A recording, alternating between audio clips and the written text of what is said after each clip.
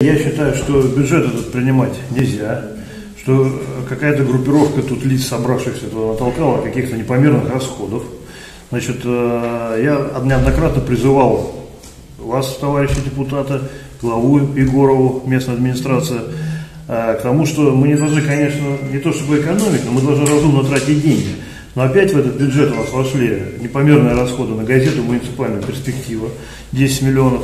7 миллионов мы собираемся потратить на контейнерные площадки, хотя полномочия переходят администрации города, и они уже могли бы это нам сделать.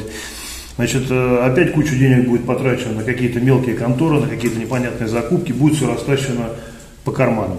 Значит, э, я как считаю, что эта деятельность ваша, если вы примете бюджет, значит, э, вас только приблизит процессу, когда будет вам воздано наказание со стороны закона. Вот. И призываю еще раз одуматься и бюджет этот не принимать. Поздравляю вас, у нас есть бюджет и можно в дальнейшем продолжать нормально функционировать, нормально.